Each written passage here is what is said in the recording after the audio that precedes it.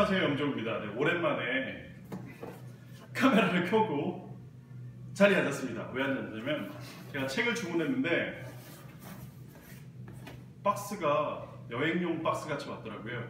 그래서 왠지 갑자기 영상을 좀 찍어야겠다는 생각이 들었습니다. 이 박스는 뭐냐면 짜잔 네, 인터넷 교보문고에서 주문한 저의 책 박스입니다. 그래서 오늘은 오랜만에 저의 처음이죠. 제 책 소개를 한 적은 있지만 책 개봉기는 처음입니다. 왜냐하면 저는 인터넷에서 책을 주문한 적이 거의 없거든요. 최근 한 5년간. 그래서 진짜 오랜만에 책을 주문했는데 패키지 디자인이 너무 예뻐서 소개를 좀 해드리고 과연 저는 어떤 책을 샀는지 한번 좀 보여드리고 싶어서 준비했습니다. 자, 그러면 한번 박스를 뜯어보겠습니다. 꽤 괜찮습니다. 다른 식상 박스보다. 짠! 네. 이 안에 이렇게 붙여놓지. 어휴. 네 본드를 그냥 엄청나게 붙여놨어요. 이거 굳이 본드 안 붙여도 될 것 같은데. 그러면 한번 제가 무슨 책을 샀는지 하나씩 하나씩 소개해드리도록 하겠습니다. 어떠세요? 오글거리세요? 네네. 다섯 권. 네, 제가 오늘 책은 다섯 권 주문을 했는데요. 음, 뭐냐면 네, 첫 번째 위에 있는 책도 소개해드릴게요. 첫 번째 위에 있는 책은 테헤란 나이트. 네, 저 이란어과 나왔는데 이란어과 후배가 쓴 책입니다. 이란을 사랑한 여자. 네.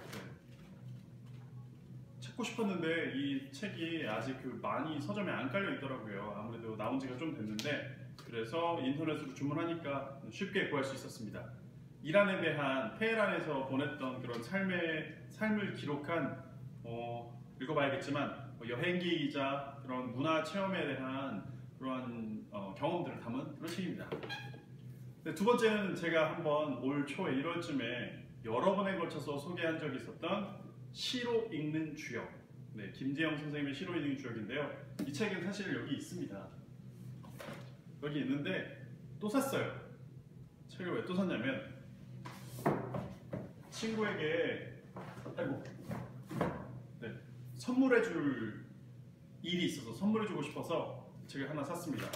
어, 저도 주역이라는 것이 굉장히 저에게 낯설었는데 다시 한번 처음으로 이렇게 읽, 설명을 듣고 읽고 또 최근에 제가 동전점도 한번 봤는데 정말 저에게 제가 원하던 제가 꿈꾸던 그런 결과 나와서 너무 놀라웠던 경험을 했습니다.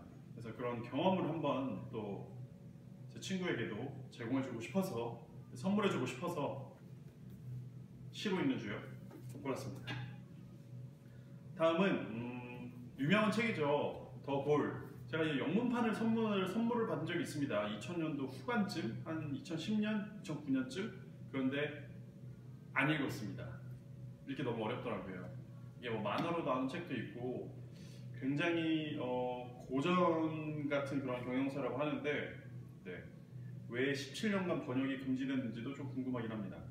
천만 부 이상 판매가 됐다라고 하면 정말 뭐 놀라운 이야기가 있을 것 같은데 네.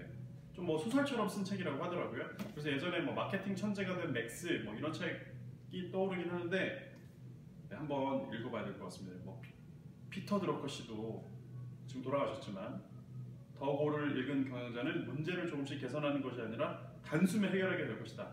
저도 앞으로 새로운 프로젝트를 진행하면서 여러 가지 경영에 대한 고민들을 하게 될 것 같아서 네, 참고가 될 것 같아 주문했습니다. 당장 읽을 수는 없겠지만 두고두고 조금씩 읽으면 도움이 되겠죠. 네 번째는 네, 기업 전문 기자 김대영의 위기 관리 이야기. 위기 관리. 네, 이책 제목은 평판이 전부다라는 책입니다. 어, 최근에 읽은 책 중에 제가 평판 자산 외국 책이었는데요. Reputation Capital이라는 책을 읽었습니다. 그게 뭐냐면 인터넷상에 있는 그런 관계들, 넷상의 이러한 것들이 어, 데이터가 분석이 되면 뭐 친밀도나 이런 것들이 다 이제 어찌 보면 계산이 되는 시대지 않습니까? 그래서 그런 인터넷상의 평판들이 어떻게 그 사람들의 소비 행태나 아니면 그 사람의 뭐 네트워크, 그 사람의 향후 커리어, 비즈니스에 어떻게 영향을 미치는지에 대해서도 어, 썼던 책입니다. 그래서 오늘 이 책은 한국어로 된 책인데 네, 김대영 씨가 쓴 책이네요. 그래서 이분은 또 어떻게 그 평판에 대해서 인터넷상에 연결된 이 사회에 어떻게 그런 것들이 영향을 미치는지에 대해서 좀 알게 될 것 같아서 어, 인터넷 쇼핑하다가 네, 팝업으로 띄워주는 게 있어서 구매를 했습니다. 마지막 책은 이란어 첫걸음. 저를 가르쳐 주셨던 김영현 교수님이 쓰신 책입니다. 음,